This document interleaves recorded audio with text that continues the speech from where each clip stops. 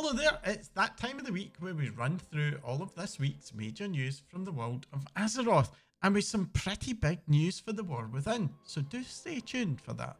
But first, let's start off with MoP Remix. And one of the hot topics for the community has been the very high cost of upgrading gear in the new event.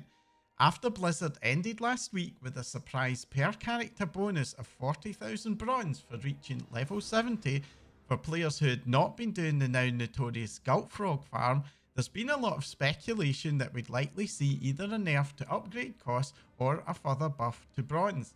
This week, Blizzard provided us with a midweek developer note on MoP Remix to reveal that they do not plan to change the costs of upgrading gear. Blizzard went on to say that they don't want anyone to second guess their decisions to upgrade and also pointed to the 40k bronze as one of the multiple ways that we can use to obtain desired cosmetics. In my opinion, for players who focus either on cosmetics or an increase in character power, this is probably fair. On the collecting side, that 40k bronze can buy quite a lot, especially of the exclusive to remix items. And once you have hit 71 character and got the Infinite Power 12 achievement, any additional alts start with a 100% XP buff, which increases further as they level up. This means that leveling multiple characters can be a very fast way to get quite a lot of bronze. On the player power side, when combining gear upgrades with accumulating more power in the cloak, characters are getting very strong indeed, and raids at all difficulties are getting faster and faster and easier to farm, meaning that bronze acquisition is only going to speed up over time for those players. Where I think things may be less rosy are for players who want both, but don't have a lot of time. For players who can farm the daily raids, I think there's going to be plenty of time to get everything, both upgrades and bronze. But for players who can't do that every day or at least every other day, I do think there's going to be a struggle. And my advice is that if that's you, then you probably need to decide what's more important and either to focus in one or the other. I do think that a lot of this stems from the decision to use the same currency for upgrade and cosmetics. Had they been separated, I think things would have been a lot better for those players who have less time to spend on the game. Now, after last week's brief game of cat and mouse between the devs and the community, where Blizzard nerfs farms almost as soon as players found them, things are seeming to now settle down a bit. There are still a few popular farms out there, but these ones are at least so far being left alone by the devs.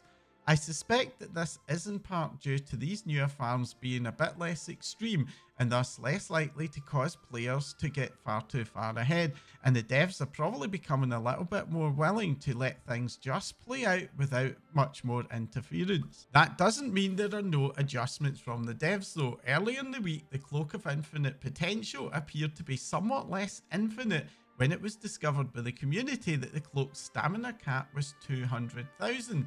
That's a lot, but it's certainly not infinite. Obviously, computers cannot do an infinity and there has to be a cap, but this seems to be quite a bit lower than they think might have been needed by technical limitations.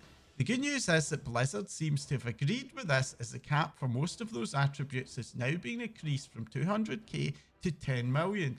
This number is probably high enough that very few, if any, players will ever hit it, and the cloak will at least start to feel a bit more infinite for the majority of us. Blizzard have also made a further round of scaling adjustments, this time for group content between 60 and 70, along with adjustments to heroic and mythic raids to, as Blizzard put it, give a bit of a smoother transition between the difficulties. Along with last week adjustments, this should hopefully reduce the issues that players have been having with losing power as they approach level 70. We also saw one of our first rounds of tuning for the remix gems, with buffs for Arcanist Edge, Fervor, Righteous Frenzy and Searing Light, but also nerfs for Slay and Ward of Salvation.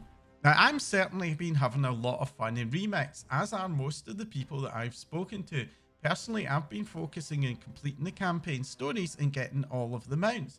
I'm still playing Season 4 a lot, so I don't really want to get involved in trying to progress both Season 4 and Remix at a high level, but the friends who have been doing the raid scene and Remix are certainly having a bit of a ball with it. If you haven't any way been put off by any of the discussion or issues, I still do recommend giving it a try. It's probably the best ending to a World of Warcraft expansion we've ever seen, no matter what your preferred playstyle is. It does have a few issues, but honestly, when you get in and start playing it, those issues aren't really enough to spoil it. Now, let's get over to The War Within. The biggest news this week came from Blizzard with the announcement that The War Within's beta will begin next week on the 5th of June. Usually, the launch of a WoW beta is more of a progress milestone than any major changes to the test builds, but this one does have some extra significance because people who pre purchased the Epic Edition of The War Within are getting guaranteed access to the beta. Up until now, the pre purchase has been a little bit ambiguous about the timing of that guaranteed access, but this announcement has confirmed that the Epic Edition purchasers will be getting day one access to the beta, which probably means a lot more folk trying it out than usual, which could be interesting as the beta only has two realms, and that's for the entire world. Now, Blizzard probably do have plans for this to make sure there's capacity, but equally, this could potentially turn into a little bit of a stress test. So, my advice is to try not to be too stressed if you find it's a little bit hard to get into the servers next week. Now, if this is your first time on beta or even a PTR test realm, I do have a few survival guide tips for you. First of all, don't expect to be able to use most of your add-ons. New expansions come with a bunch of changes to the game client that breaks many add-ons, and this time around is no exception. Many add-ons are produced by solo developers who have real-life families and jobs, and it can take quite a while for them to catch up with the changes. In fact, in my experience, only the really big add-ons ever get versions released for WoW betas, which means the majority will only be getting released at or around the pre-patch launch.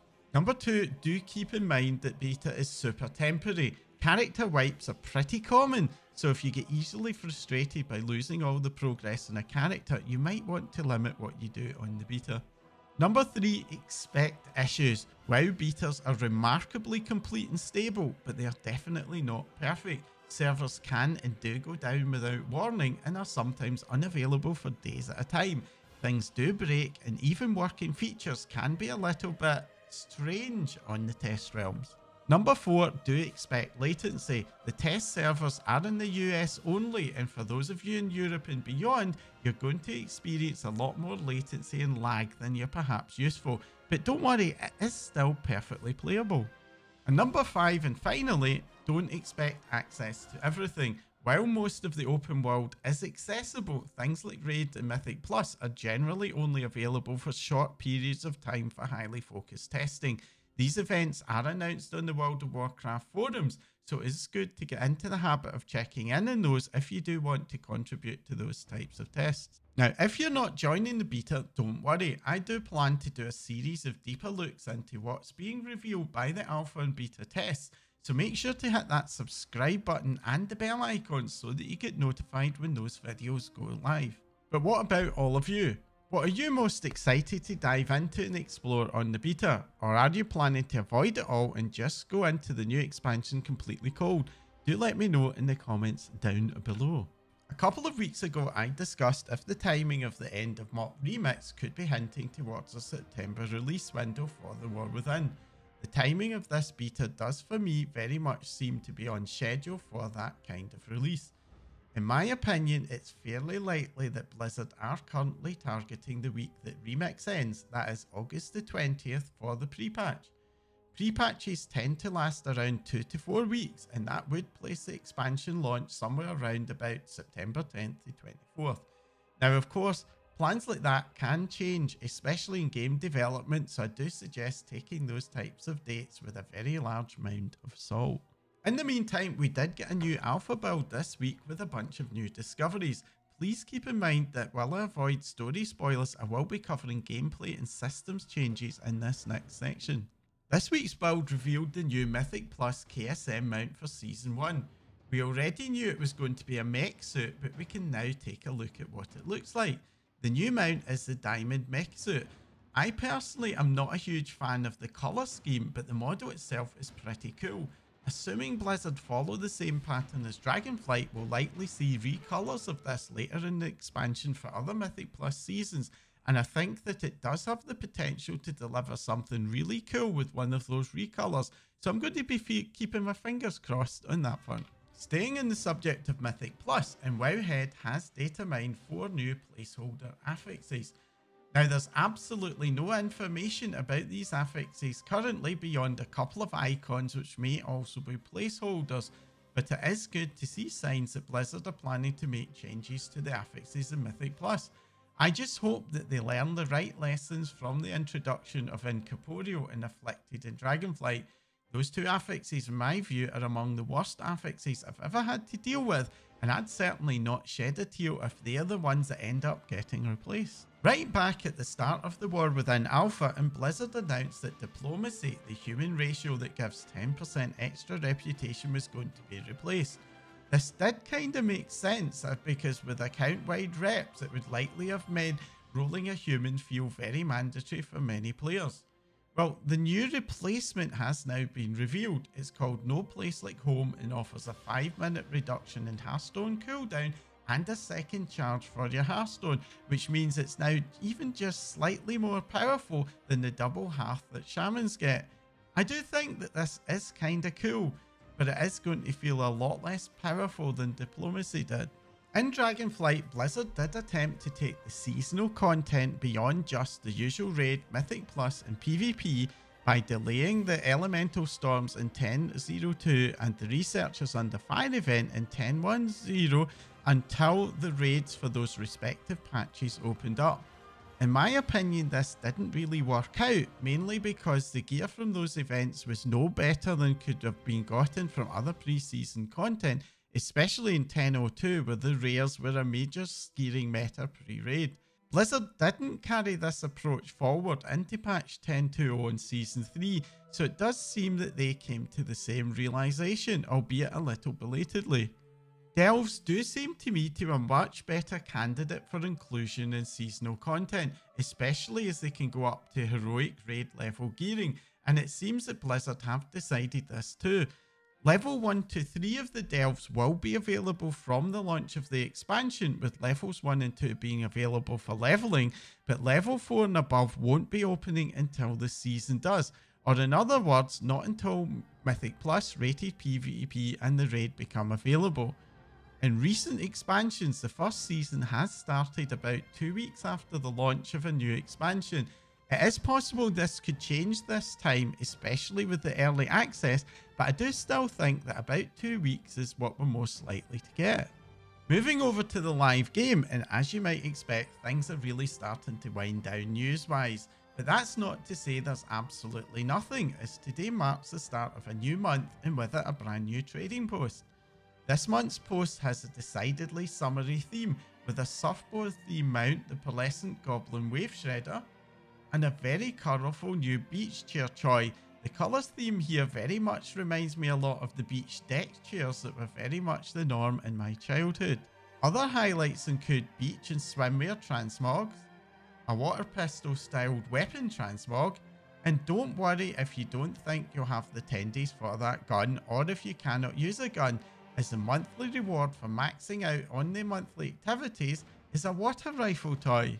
The monthly rewards have been a bit meh of late, but this one for me is a bit of a return to form.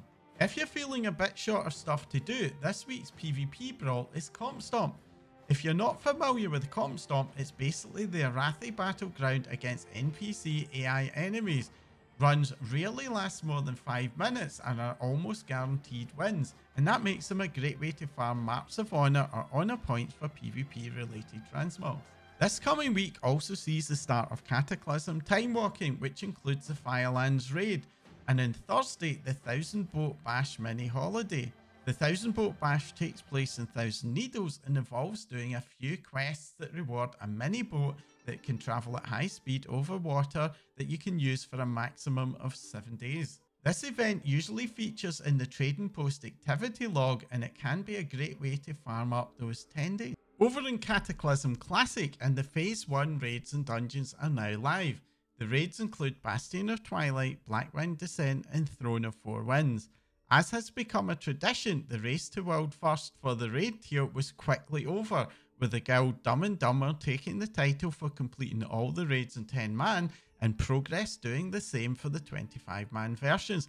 My congratulations go to both of those guilds. Well, that's all the news for this week.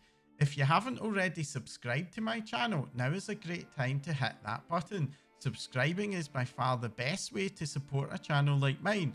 And if you want to see more news like this, please do hit the like icon to let me know. There's going to be loads more news, opinions, previews and guides coming real soon. That's all for now. Thanks for watching.